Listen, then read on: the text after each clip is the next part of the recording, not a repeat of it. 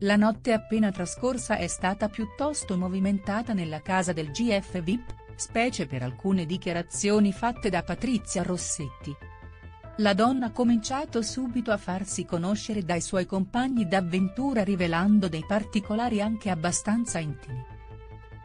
Nello specifico, la donna ha svelato retroscena sulla sua vita sessuale e anche sui suoi problemi di incontinenza. Questi, chiaramente, sono disagi che ha comunicato anche ad Alfonso Signorini prima di entrare nella casa, proprio per giustificare eventuali situazioni incresciose. Vediamo nel dettaglio cosa ha detto. I problemi di incontinenza di Patrizia Rossetti Patrizia Rossetti è tra le concorrenti di questa edizione del GF VIP.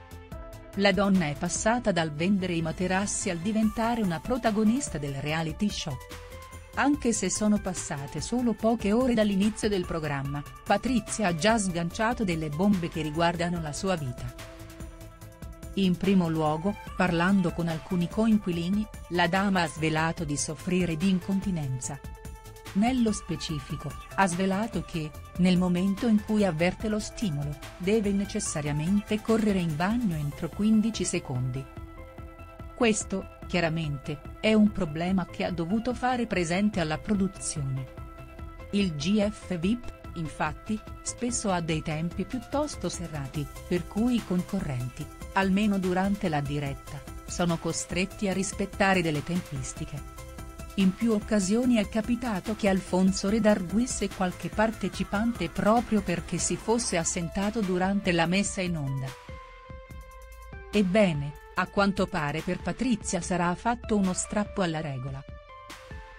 Patrizia fa confessioni intime al GF VIP nel corso del suo sfogo, infatti, Patrizia Rossetti ha ammesso che se non corre subito in bagno rischia di combinare il caos, pertanto, ci sarà un'eccezione per lei al GF VIP.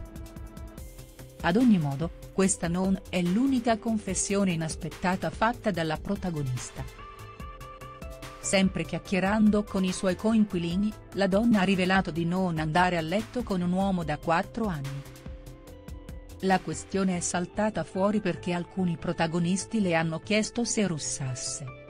Lei, allora, ha detto di non saperlo poiché, dormendo sempre sola da oltre 4 anni, nessuno gliel'ha mai potuto dire. I coinquilini, chiaramente, non hanno potuto fare a meno di scoppiare a ridere dinanzi la nonchalance con cui la Rossetti ha raccontato questi particolari alquanto intimi della sua vita. Insomma, l'edizione di quest'anno sembra promettere davvero bene.